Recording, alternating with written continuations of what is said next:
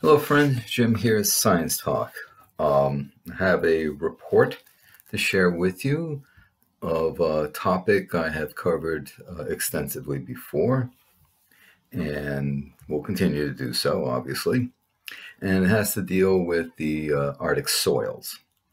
And basically, this study, which was published in the journal Nature, is simply reporting data that confirms what we already know, but that's how science works. Keep gathering data to confirm or not confirm a hypothesis, gather more data that supports uh, a hypothesis, etc. So, what am I talking about? Arctic soils producing huge methane leaks. So, permafrost, right? I've discussed this with you guys before, and um, it should not come as any surprise that it's uh, the Arctic soils contained within the permafrost is thawing faster than anyone had predicted. Just like Greenland's ice is melting faster than anyone had predicted, because you know, yes, scientists tend to be conservative with their estimates and and their extrapolations, and usually it's erring on the side of caution as they're assuming a linear a situation when it's not. Positive feedback loop, right, helps foster the, the response, the signals that are seen. And that's exactly what's happening in this case here with the Arctic So, just like with the Greenland's ice, as the thawing or melting proceeds, it's increasing at a nonlinear curvilinear function.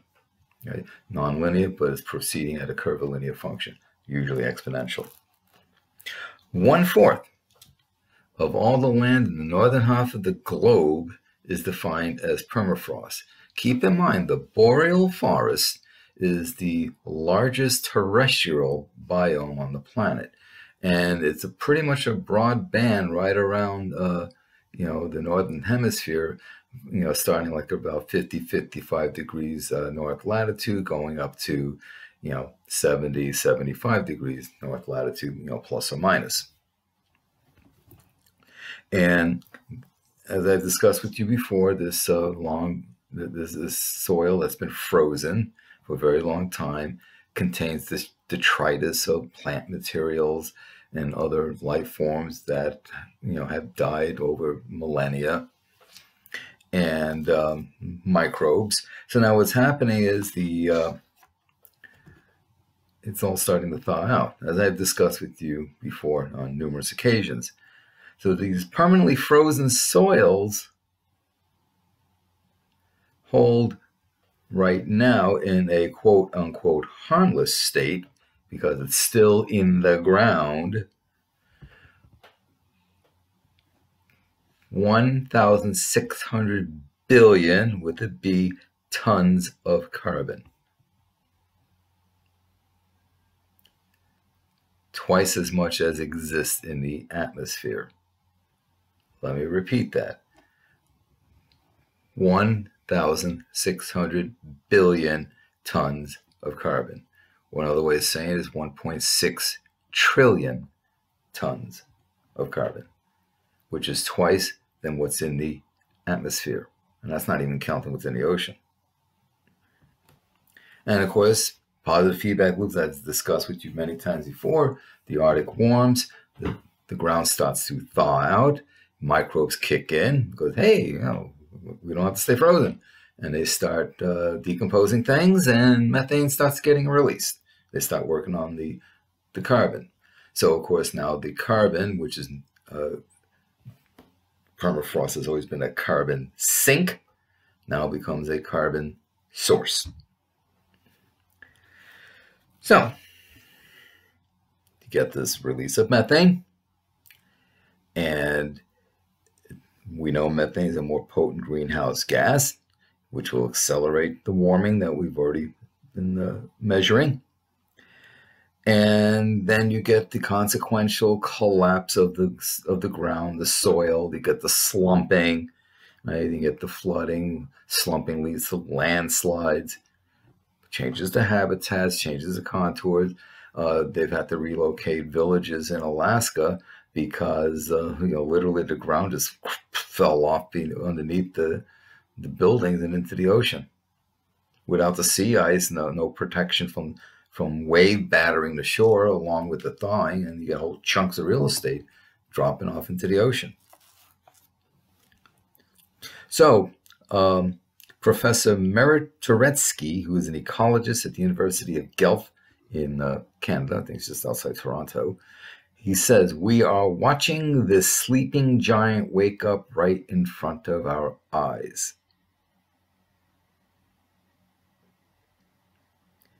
We work in areas where permafrost contains a lot of ice, and our field sites are being destroyed by ab- abrupt collapse of this ice, not gradually over decades, but very quickly over months to years.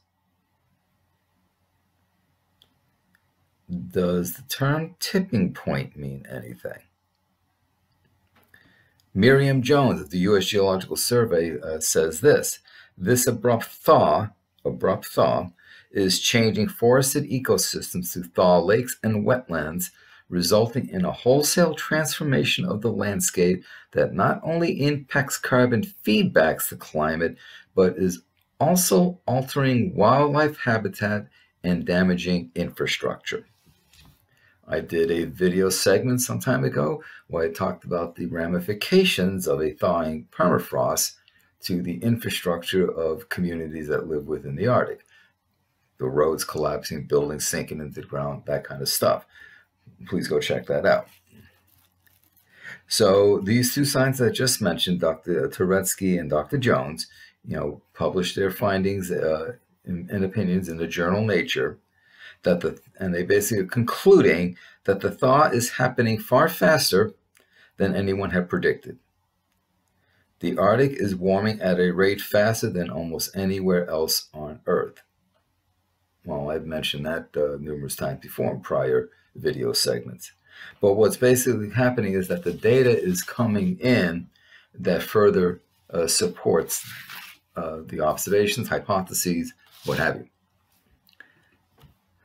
Right now, though, the thaw affects less than one fifth of the entire permafrost.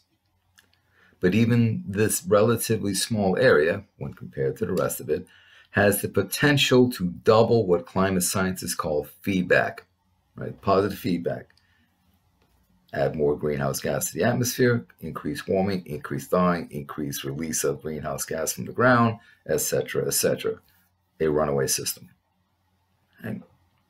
Now, I've mentioned before in the past, um, Dr. Igor Semiletov, who uh, is a scientist uh, at the International Arctic Research Center on campus of University of Alaska Fairbanks. And he and his wife uh, have been leading the charge, so to speak, on just basically going all over Siberia, uh, measuring what's going on with the permafrost. The big, the two big questions are how much is in the ground? Well, now we have an idea 1.6 trillion tons of carbon. Now, the next big question is at what rate does it get released? Does it happen slowly, intermittently, or is there large pulses? If the latter, that's going to spell trouble.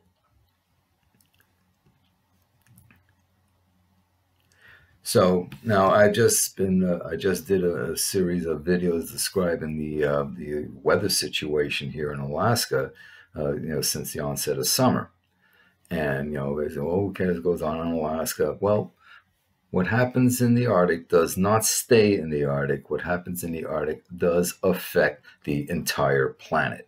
The Arctic is warming the fastest we see, and now the rest of the planet is going to start feeling it as well.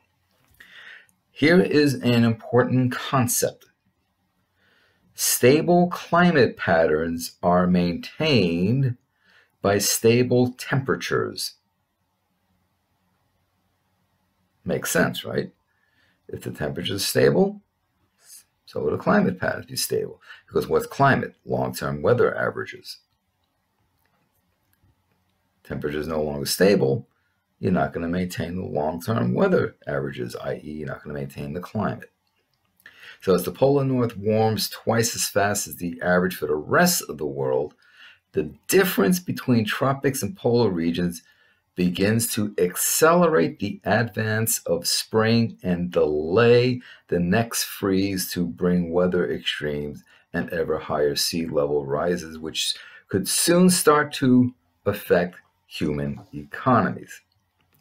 Another way of putting this, probably you know, easier to understand terms, as the difference between tropics and polar regions basically lessens. In other words, the temperature gradient decreases. So you don't have that sharp change over, you don't have a, quite the high gradient. What's going to happen? I've discussed this before. You're also going to affect the pressure gradient. So now the jet stream doesn't stay in nice zonal bands. jet stream starts to meander, but also meanders at slower rates. So yeah, it dips down, and it you know, northern hemisphere is still the northern hemisphere. This, you know, the, the Earth is still tilted away from the sun, so you're still going to have the cool temperatures being brought down to mid latitude from the dipping jet stream, bringing the, the cooler air from the Arctic. Now, when we say the Arctic is warming, we're not getting 55 below, we're getting maybe 20 below. Well, that's 35 degrees. That's significant.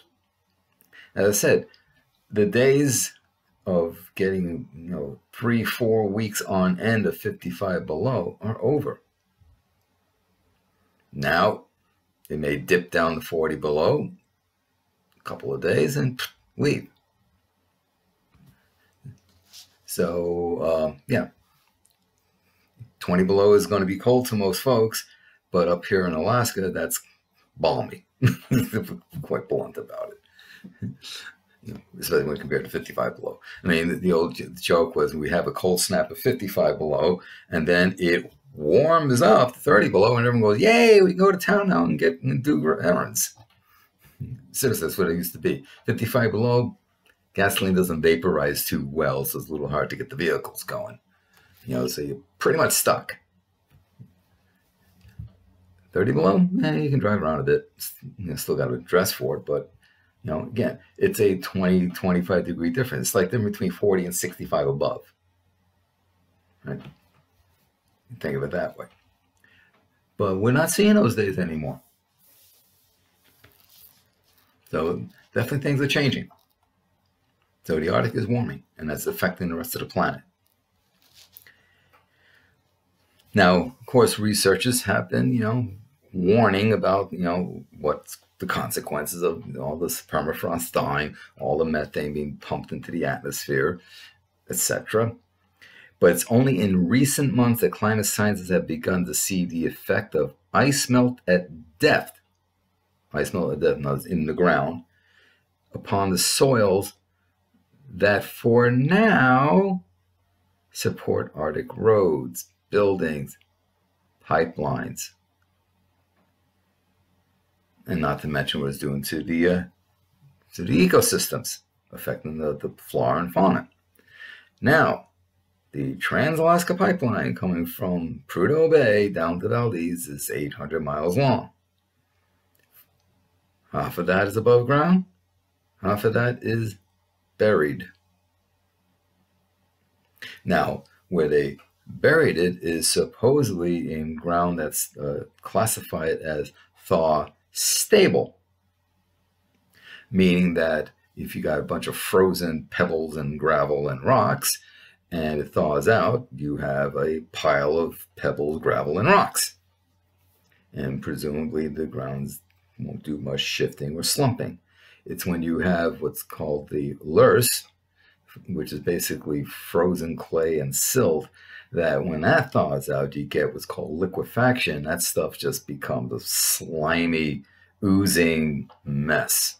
and that's extremely unstable. That's called thaw unstable. So where the pipeline travels above ground that is thaw unstable, that's where you see it up on the shoes, up on the on the you know on the platforms there. You've probably seen those pictures of the pipeline zigzagging around, right? The ground underneath that is thaw unstable. But this could all be affected. And this ties into the video that I made uh, that I referenced prior, an earlier video I made about the effects on the infrastructure. So, what's happening is that this accelerating thaw in the Arctic is, you know, dumping more methane into the atmosphere. Paris Accord? What Paris Accord? There's no way in hell you're going to keep this to under uh, 1.5 degrees, not even under 2 degrees C, let alone 1.5. We're already at 1.3. We'll probably blow past 1.8 at the end of the by 2030, if not sooner. So this is really not good. Not good at all. So, um, again, I'm keeping you guys up to date on what's going on with, uh, you know, the, climate situation, the permafrost situation. I did an earlier video segment where there's another uh, added joy, and that is now we're finding the release of nitrous oxide, which is turning out to be also a greenhouse gas. More fun. No sarcasm. So, bottom line the thawing is accelerating, it's affecting the ground structure. The, uh, now, the frozen uh, uh ice is usually called ice lenses. That's all melting. Okay, ice does melt the permafrost thaws because there's no change of state. Right? Remember that.